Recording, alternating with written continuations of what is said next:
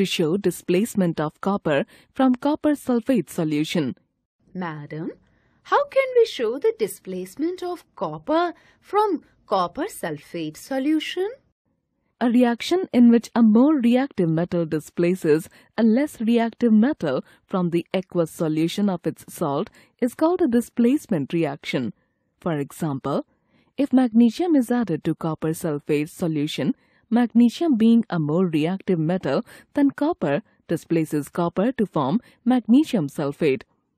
Magnesium plus copper sulfate, blue, gives magnesium sulfate, colorless, plus copper. Let's perform an experiment to show displacement of copper from copper sulfate solution. The materials required are test tube, magnesium powder, copper sulfate solution, a spatula, and dropper. Procedure.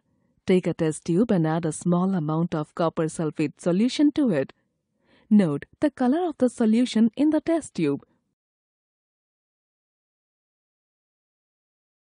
Using a spatula, add some magnesium powder to the test tube.